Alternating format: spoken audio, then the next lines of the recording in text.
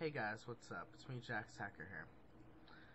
Now, let me ask you, what is up with these public bathrooms?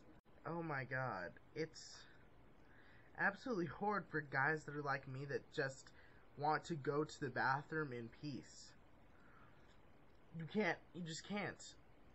You go in there and the first thing you think is, I want to get in, wash my hands, and get the fuck out. But you can't you have to go to the you have to go and find a good stall.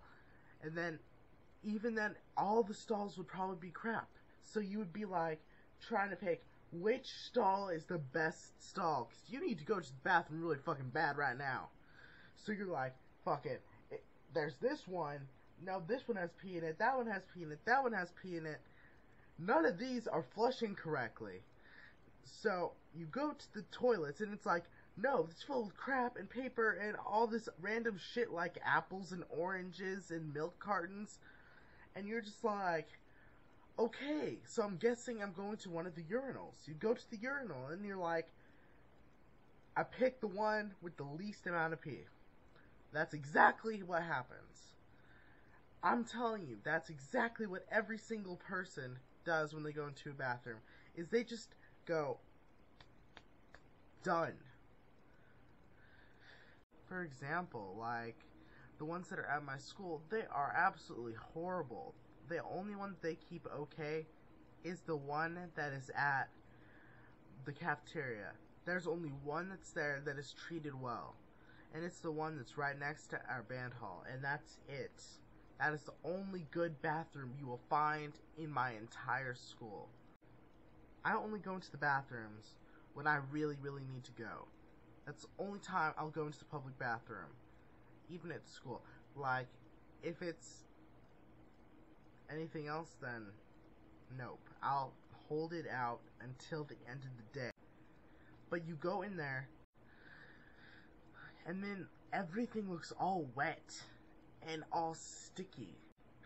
Like, you don't touch anything, but you know it's sticky. Because every time you walk, you can hear, hear your feet like stick to the ground and that.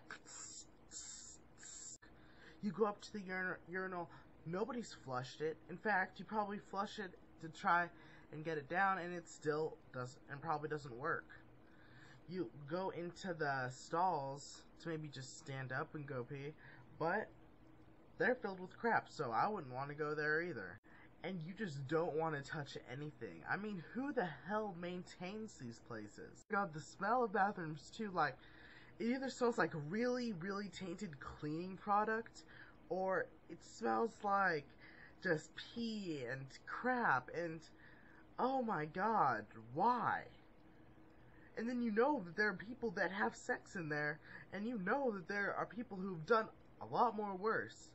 And honestly, some days I go into the bathroom like because I really, really need to. That's the only time I go into a public bathroom. If I really, really, really, really need to.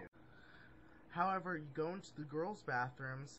Not saying that I've been in all of them, but one time me and my friends played Narnia.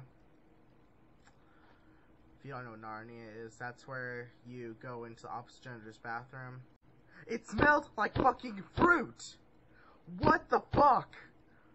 Why can't our bathroom smell like fruits? It's because of you people that we can't have good things. I mean, damn, son.